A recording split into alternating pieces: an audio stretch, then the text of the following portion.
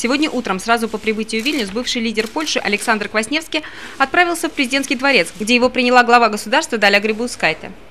На встрече обсуждалось литовско-польское сотрудничество, результаты состоявшегося в ноябре прошлого года Вильнюсского саммита и ситуация на Украине. После встречи с президентом польский гость отправился в Сейм, где он принял участие в дискуссии о проблемах и перспективах литовско-польских отношений. В обсуждении также должен был принять участие экс-президент Валдес Адамкус, но состояние здоровья не позволило ему приехать в Сейм. Участникам встречи он направил письменное приветствие – во время встречи Квасневского с литовскими парламентариями стороны констатировали, что в отношениях двух стран есть нерешенные проблемы, которые необходимо последовательно решать. Oczywiście nie, nie, nie oceniam tego dobrze.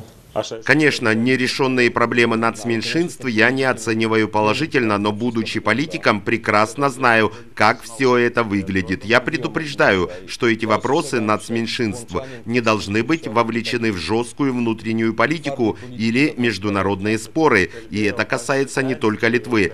Это касается вообще всех, так как вопросы нацменьшинств очень чувствительные, даже могут быть опасными. С ними, как с джином, если выпустить его из бутылки, назад вернуть очень сложно. Поэтому все лидеры политических сил должны чутко к этому относиться. Тем не менее, заметил Квасневский, Литва единственная страна, где польское меньшинство представлено в правительстве. И добавил, а вот гражданин Польши однажды становился руководителем другого государства, например, Ватикана напомнив об Иоанне Павле II. Польский гость отметил, что за прошедшие 20 лет обе страны многого достигли. Вошли в НАТО, стали членами ЕС. Тем не менее, ситуация в регионе изменилась, поэтому взаимодействие Литвы и Польши сейчас важнее, нежели это было несколько лет назад. Dialog między naszymi krajami. Сотрудничество наших стран очень важно. Надеюсь, что в ближайшее время состоится заседание парламентской ассамблеи двух стран, поскольку такие форумы важны не только для наших стран, но и региона в целом.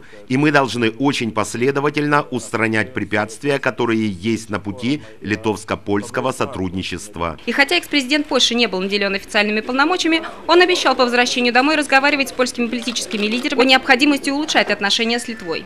В свою очередь, инициатор дискуссии в СИМе, глава литовской делегации в парламентской ассамблее двух стран Гедемина Скиркилс, отметил, что в настоящее время парламентарии проведут инвентаризацию 20-летнего периода с момента подписания договора. Ирина Лихина, Миндаугас Богдонас, Первый Балтийский канал.